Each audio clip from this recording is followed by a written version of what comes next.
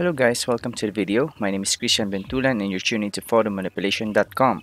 In this time-lapse video, I'll be showing you how I created this apocalyptic image using Photoshop. If you want to know more, please subscribe to our channel and enjoy!